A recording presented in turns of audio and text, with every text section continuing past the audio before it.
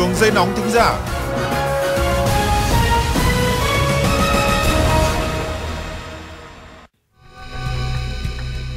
Mời quý vị và các bạn đến với chương trình Đường dây nóng thính giả, được phát sóng trên kênh VOV Giao thông tuần số FM 91 MHz Đài Tiếng nói Việt Nam.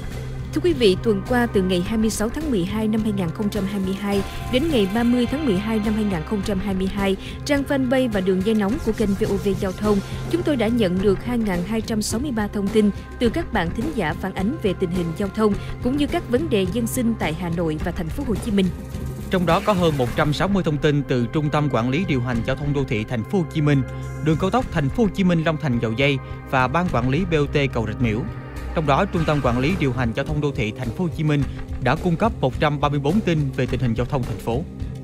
Thưa quý vị, gần đây tổng đài VOV Giao thông nhận được rất nhiều phản ánh của người dân sinh sống trên đường Nguyễn Văn Quỳ, phường Phú Thuận, quận 7, thành phố Hồ Chí Minh về tình trạng mặt đường xuống cấp nghiêm trọng, trời nắng thì bụi mù mịt, mưa thì ngập úng, tiềm ẩn nguy cơ mất an toàn giao thông, càng nguy hiểm hơn khi tuyến đường này có mật độ xe siêu trường siêu trọng lưu thông dày đặc. Phóng viên chương trình đã có những ghi nhận trực tiếp tại đây. Trời mưa thôi thua luôn á, mình không thấy được ổ gà, ai đi ngang ta cũng sợ. Xe công nó ra vô đấy không? Một ngày nó chạy biết nhiều chuyến, trời nắng nè, thì nó bụi không mà. Thưa quý vị, vừa rồi là những bất cập xảy ra trên đường Nguyễn Văn Quỳ, phường Phú Thuận, quận 7 mà người dân đã trải qua trong suốt thời gian qua. Chị Cù Thị Hồng Hạnh, người dân ngụ tại đây cho biết, mới đây trên tuyến Nguyễn Văn Quỳ đã được trải tạm lớp đá mạc nhằm hạn chế xảy ra tai nạn giao thông. Trước đó, đoạn đường này xuống cấp nghiêm trọng, xuất hiện chi chít ổ gà, ổ vôi rất nguy hiểm. Đặc biệt sau khi trời mưa, mặt đường ngập úng tạo thành những cái bẫy với người dân. Đường này thì mới được đổ tạm đá thôi chứ trước đó mặt đường xấu lắm, người dân đi té hoài à. Mà những lúc vào giờ cao điểm nha, xe container rồi xe máy di chuyển cùng nhau phải chi đường bằng phẳng thì không nói chứ đằng này đường toàn ổ gà, nhiều người đi vào té. Mà đổ đá như vậy tạm thời thôi được vài bữa xe lớn đi qua thành như cũ hết. Theo quan sát của phóng viên, hiện mặt đường Nguyễn Văn Quỳ, đoạn từ cảng Rau Quả đến cảng Lotus lại tái diễn tình trạng xuống cấp, xuất hiện ổ gà dù mới vừa được sửa chữa. Cùng với đó là bụi mù mịt mỗi khi dòng phương tiện lưu thông qua lại, thấy rõ nhất là hàng cây và cửa nhà của người dân hai bên đường bám bụi trắng xóa. Nguy hiểm hơn là khi nắp cống thoát nước bị hư hỏng và được dựng rào chắn cảnh báo tạm bờ, ngổn ngang, không đảm bảo an toàn, chiếm hết một nửa phần đường, khiến dòng phương tiện phải chen chúc khi đi qua. Tình trạng này tiềm ẩn rất lớn nguy cơ mất an toàn giao thông khi đường Nguyễn Văn Quỳ là tuyến đường duy nhất của hơn 2.000 hộ dân sinh sống tại chung cư Lost Garden và các phương tiện siêu trường siêu trọng ra vào các cảng lớn như cảng rau quả, cảng Lotus lưu thông song hành mỗi ngày.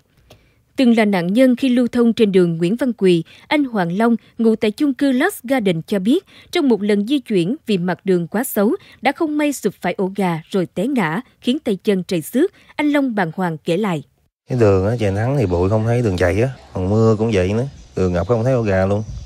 Hôm bữa kìa, đi á, bị container bóp kèn á, sợ quá, cái lách vào lại cái sụp ô gà té chạy tay chân luôn. Nói chung cái đường này cũng khó đi á, đàn ông tôi chạy á, tay lái cứng còn té, không chi nữ tay lái yếu, khổ hơn nữa. Theo anh Nguyễn Quang Văn, Phó ban quản trị chung cư Lush Garden, tình trạng mặt đường Nguyễn Văn Quỳ xuống cấp đã kéo dài hơn 3 năm qua và việc người dân lưu thông song hành với container tiềm ẩn nguy cơ tai nạn giao thông rất cao.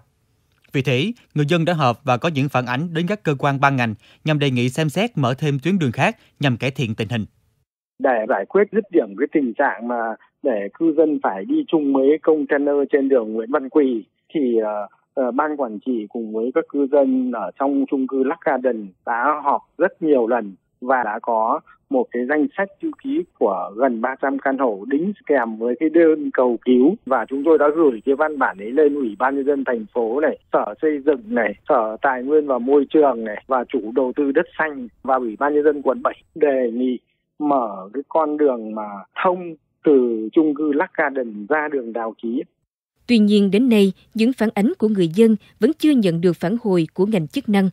Trước vấn đề này, ngày 26 tháng 12, phóng viên đã đến Ủy ban Nhân dân phường Phú Thuận, quận 7 để trao đổi về những bất cập hiện hữu trên đường Nguyễn Văn Quỳ. Nhưng câu trả lời của phóng viên nhận được là đoạn đường này không thuộc quản lý, trách nhiệm của phường và yêu cầu liên hệ Ủy ban Nhân dân quận 7 để trao đổi. Ngay sau đó, phóng viên đã liên hệ với lãnh đạo Ủy ban Nhân dân quận 7, nhưng đến nay vẫn chưa nhận được hồi âm. Mỗi ngày, người dân sinh sống trên đường Nguyễn Văn Quỳ vẫn phải đối mặt và học cách chung sống với những khó khăn, bất cập, thậm chí là nguy hiểm đến tính mạng. Thế nên sự can thiệp và quan tâm kịp thời từ ngành chức năng liên quan là rất cần thiết để giải quyết vấn đề, giúp người dân trở lại cuộc sống bình yên đáng có.